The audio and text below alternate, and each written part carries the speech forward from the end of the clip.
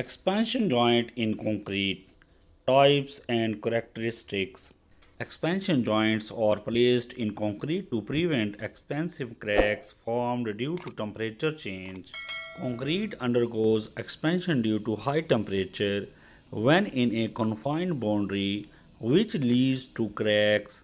Expansion joints are provided in slabs, pavements, buildings, bridges, sidewalk, railway tracks, piping system, ships and other structures.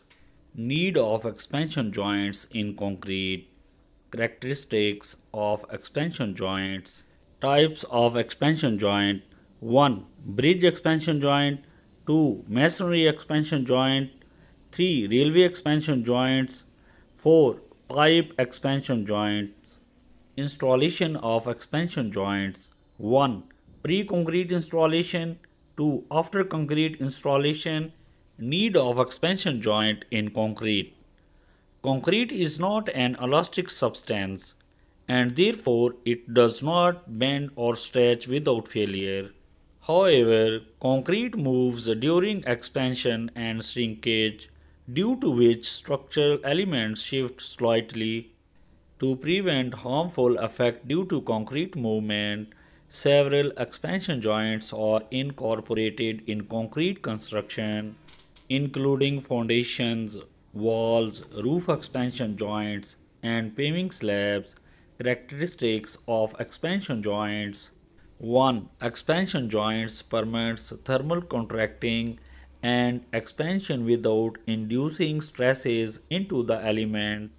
2. An expansion joint is designed to observe safely the expansion and contraction of several construction materials, observe vibration, and permit soil movements due to earthquakes or ground settlement. 3. The expansion joints are normally located between sections of bridges, paving slabs, railway tracks, and piping system. 4. The expansion joints are incorporated to endure the stresses. 5. An expansion joint is simply disconnection between segments of the same materials. 6. In the block construction, the expansion joints are expressed as control joints. Types of expansion joints Based on the location of joint, Expansion joints are divided into following types. 1. Bridge expansion joint. Bridge expansion joints are designed to allow for continuous traffic between structures while accommodating movement, shrinkage, and temperature variation on reinforced and pre-stressed concrete, composite, and steel structure. 2. Masonry expansion joints. Clay brick expands as they absorb heat and moisture. This places compression stress on the bricks and mortar, encouraging bulging or flaking. A joint replacing mortar with elastomeric sealant will absorb the compressive forces without damage. 3. Railway expansion joints. An expansion joint consists of two jaw and tongue rails which can move against each other.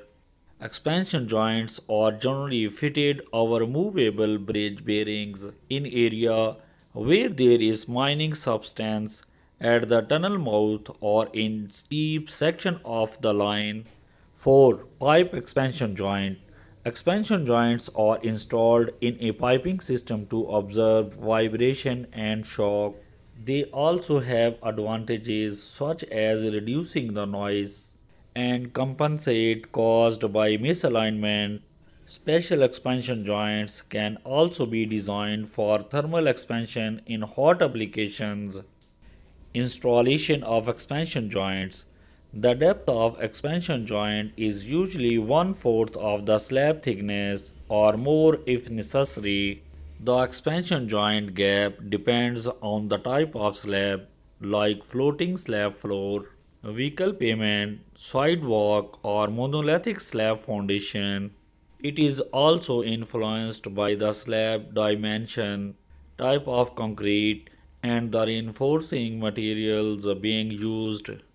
Cracks in concrete may occur at the expansion joints due to improper concrete mix or curing. These conditions cause shrinkage between the expansion joints and cracks can be formed. 1. Pre-concrete installation When the site is prepared for the concrete pouring and the provisioning of the expansion joints in slabs are made prior to placing of concrete, an individual expansion joint is created by the insertion of a flexible material that runs along the joint length.